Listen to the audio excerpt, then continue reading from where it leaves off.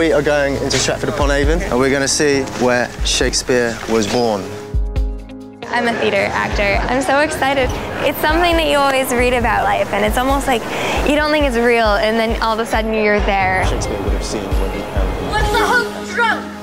Hath it slept since and wakes it now? How amazing is it to feel that the world's greatest playwright was born here, lived here?